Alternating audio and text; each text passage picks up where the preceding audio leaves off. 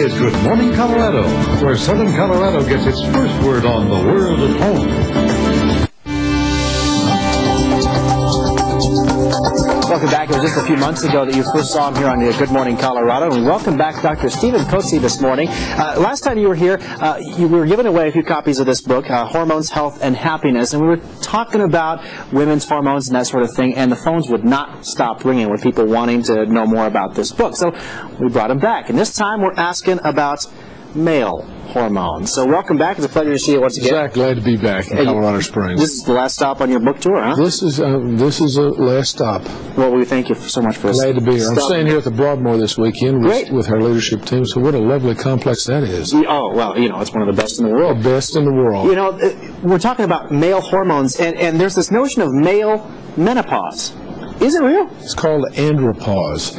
Uh, males make their primary our primary hormone is testosterone. Right. And there's probably not a woman listening this morning that thinks the man in her life has too little testosterone, but as a matter of fact, male testosterone declines by the time we're 40 years of age. Our hormone levels go to about half of what they were when we were in our 20s. Mm-hmm. By the time we're 50, it's a third. By the time we're 60, it's a fourth. Some people might, some women might say, well, that's great, but it has an adverse effect on the health of men. Our testosterone affects our initiative, our assertiveness, our sense of well-being, our self-confidence, our moods, our goal orientation, our drive, our directiveness, decisiveness, analytical ability, and abstract thinking. Those are all mental functions. Also affects muscle tone, cardiovascular function, romantic moods and inclinations, and abilities. And as men age, things begin to decline. in one way that you can uh, address that is by replenishing your declining hormone levels using natural, biologically identical testosterone. Know, The, the symptoms, we're so familiar with uh, the female symptoms of menopause, the hot flashes, that sort of thing. What are the male symptoms? Well, as, well, uh, as I mentioned, a decline of overall energy, a decline of mental capacity, mental function, mental focus. Depressed moods can be a problem. And of course, romantic moods and inclinations, just loss of desires, loss of libido is a big problem. So what can be done? Well, you replenish it. Uh, and I recommend at the Hotze Health and Wellness Center, it's our center in Houston, we use several types of testosterone. We find the most uh, effective is injectable testosterone on a weekly basis. That cou- coupled with the thyroid, thyroid problems also affect men as well, a decline in their natural thyroid level, and the thyroid affects fatigue and, and your overall energy production. It also per- it also affects your mental function.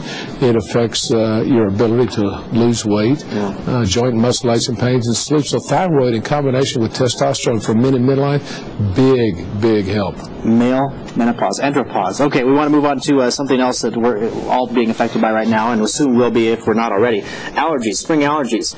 Uh, Big problem. I'm, I'm from Houston, and Right. the pollen's already out. It's a big problem. Allergies an abnormal reactions to normal occurring substances in the environment, things you breathe. In the spring, it's it's uh, tree pollen. Fall, it's uh, the ragweed or the weed pollens. You got grass pollens late spring. You got molds, dust mite, mold spore year round, and all these things can cause us to develop upper respiratory problems, sinus infections, bronchitis, even asthma, and that can be treated safely and effectively by seeing an ear, nose, and throat allergist.